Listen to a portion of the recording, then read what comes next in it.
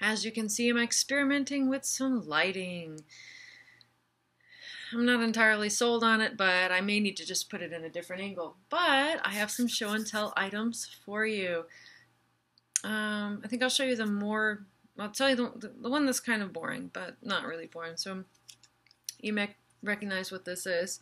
I need to set it anyway, and let's see. So it's like 1.15 in the morning. Okay.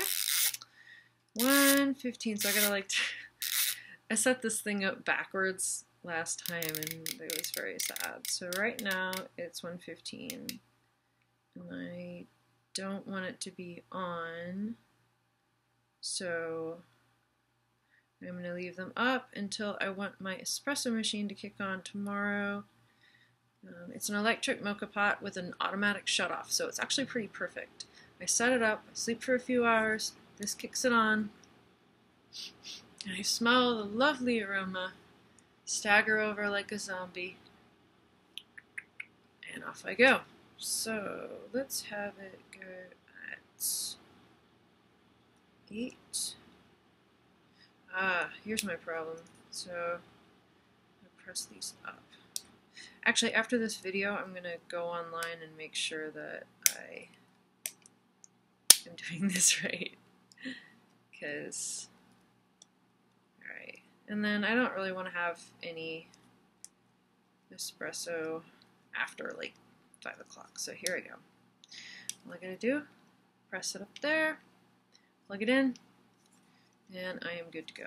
Alright, well, I had to set that up anyway, so I'm just to pull it a little bit ahead by the time I record this and put it up for me to adjust it. Okay, so this is my next item of agenda. Sorry about the iris change.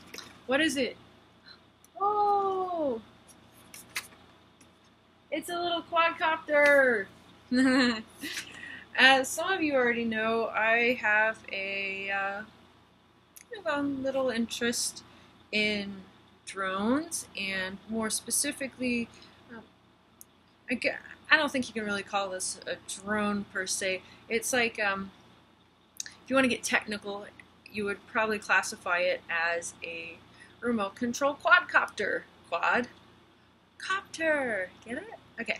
So let me show you its little bits here.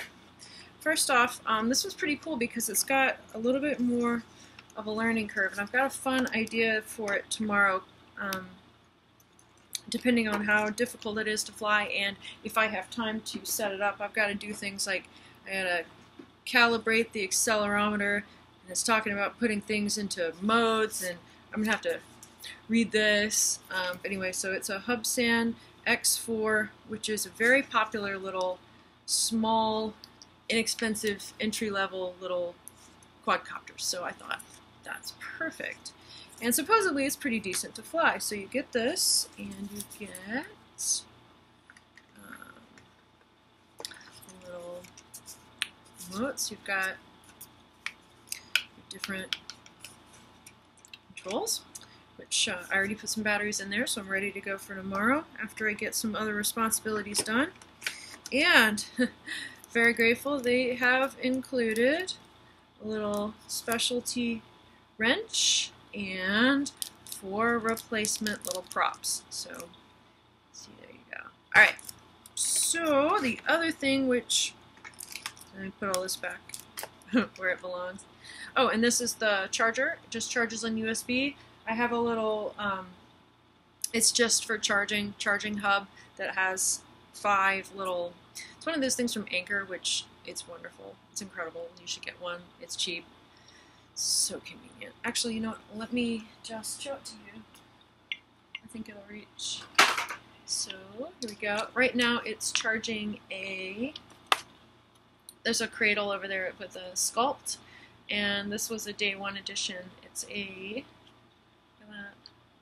Measures body fat in specific areas. So I kind of use this with my training and if any of my clients are brave enough for it, they can use it too. So anyway, this is from Anker, and this is a little USB charger, and you can put five little things in it, And there's normally like other stuff plugged in here. But anyway, so I use that to charge things like little batteries. A little battery in here is. There's, I feel like there should be a better way to pull these little batteries out because it seems like this is going to be happening a lot.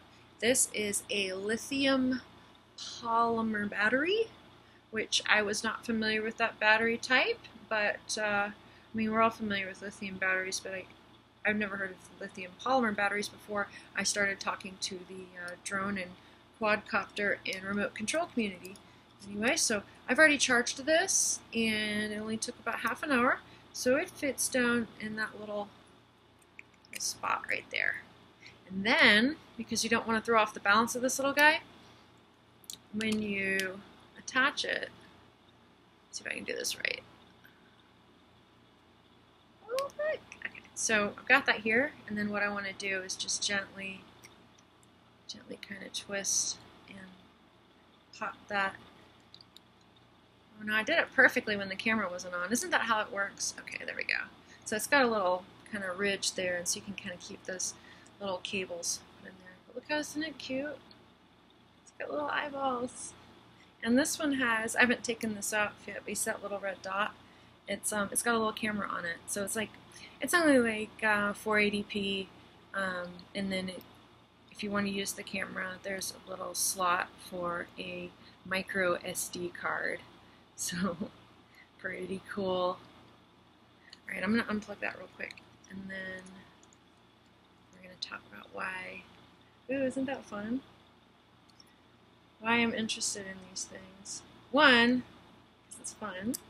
Two, I have this idea. I'm always coming up with weird workouts, and I'm I've got kind of an idea that if I can get this, if I can fly this pretty okay tomorrow, I will put up the first of my little quadcopter workout ideas for you. So anyway, just letting you know what's coming possibly later this week, and I hope you find that to be amusing.